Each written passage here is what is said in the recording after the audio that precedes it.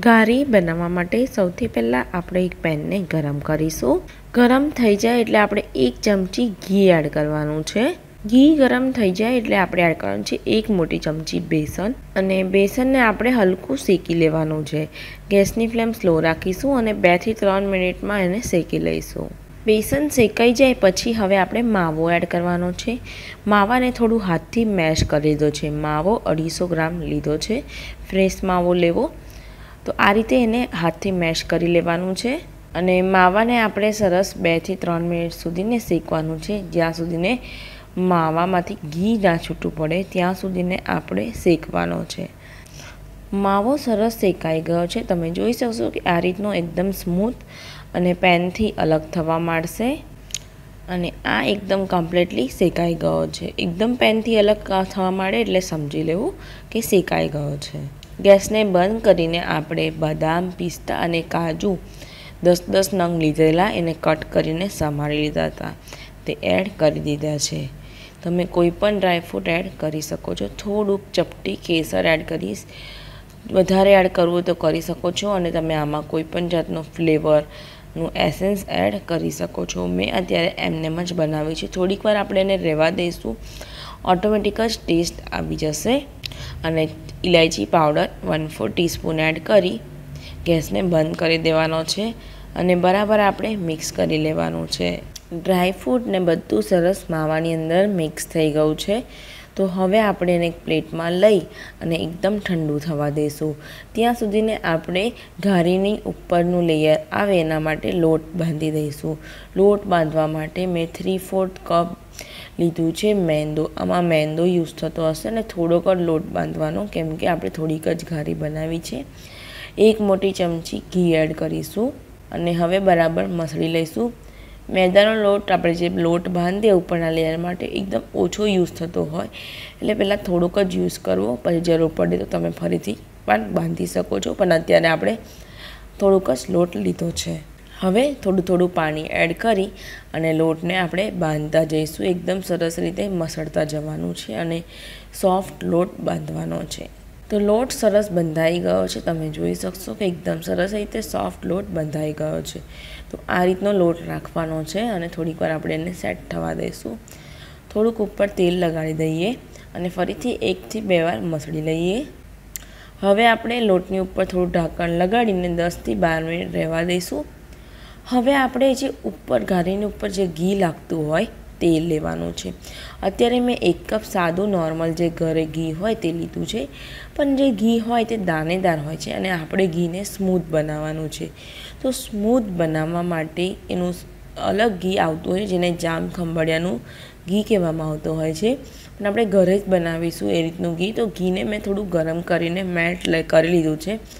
હવે એક ચમચી આપણે ખાંડ એડ કરીશું. તમે પાવડર દળેલી ખાંડ એડ કરી શકો છો. અત્યારે મેં બુરુ ખાંડ લીધી છે. બુરુ ખાંડ માર્કેટમાં ઇઝીલી અવેલેબલ છે. તમે પાવડર સુગર દળેલી ખાંડને પણ એડ કરી શકો છો. જે ઘરમાં અવેલેબલ હોય તે એડ કરવાની છે એક મોટી ચમચી.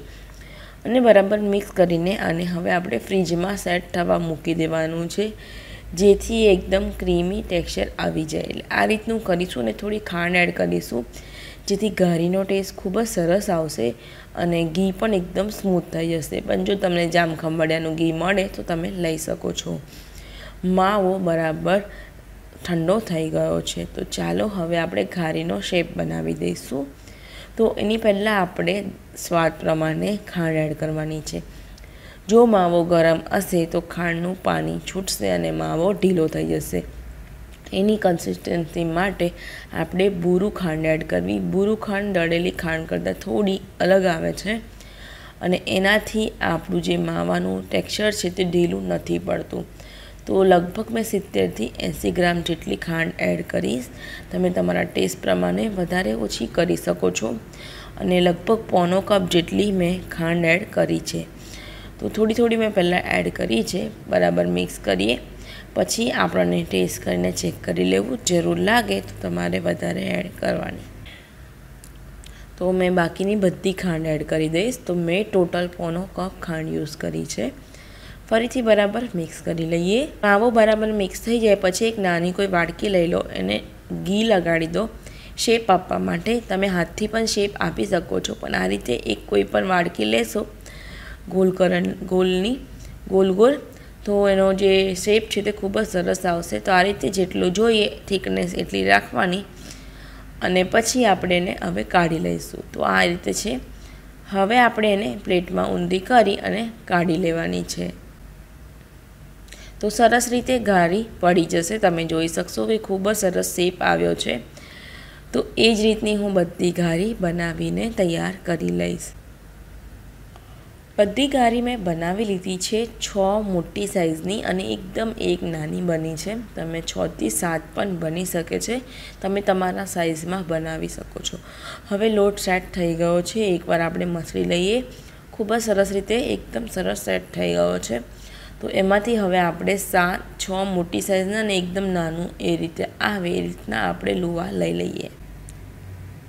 હવે આપણે વણી લઈએ. તો એક સરખું કરી લેવાનું છે. અને તેલ લગાડીને જો ચોંટે તો તેલ લગાડી દેવાનું, આમાં કોરો લોટ યુઝ નહીં કરવાનો. અને એકદમ પતલી બનવાની છે, આમાં બહુ જાડી નથી બનવાની તો એ વાતનું ખાસ ધ્યાન રાખજો. તો આ રીતની પૂરી બનાઈ ગઈ છે, તમે જોઈ શકશો કે આ રીતની પતલી હોવી જોઈએ. તો હવે એની ઉપર આપણે ઘારી મૂકી દેવાની છે, અને હવે આપણે પોટલી જેવું બનાવી દેવાનું છે. જે રીતે આપણે પૂરણપોળી બનાવવા માટે આ રીતે પોટલી બનાવીએ, એ રીતનું જ બનાવી દેવાનું છે. અને ઉપરનું જે વધારાનું હોય, એને સરખું કરી અને કાઢી લેવાનું છે. તો આ રીતે ઉપરનું થોડુંક ભાગ કાઢી અને નીચેનું ચોંટાડી દો. તો એક સરખી આ રીતની ઘારી બધી બનાવીને તૈયાર કરી લઈશું. તો તમે જોઈ શકશો કે એકદમ સરસ આ ઘારી બની ગઈ છે. તો આ રીતનું ચોંટાડી દેવાનું, જેથી ખુલી ના જાય અને શેપ થોડો આપી દેવાનો. તો એકદમ સરસ આ ઘારી બનીને તૈયાર થઈ ગઈ છે. તમે જોઈ શકશો. તો આ જ રીતની ગારીને પેક કરીને તૈયાર કરી લઈશું. ગારી બધી પેક થઈ ગઈ છે. તો હવે આપણે તળવાની છે. તળવા માટે આપણે ઘીનો યુઝ કરીશું. તો ઘીને મેં ગરમ કરવા મૂકી દીધું છે. થોડુંક જ ઘી લેવું, જેથી આપણું ઘી વધારે વેસ્ટ ના થાય. તમે ચાહો તો તેલમાં પણ તળી શકો છો. પણ અત્યારે આપણે ઘીને ગરમ થવા દઈશું. ઘીને એકદમ બરાબર ગરમ થવા દેવાનું.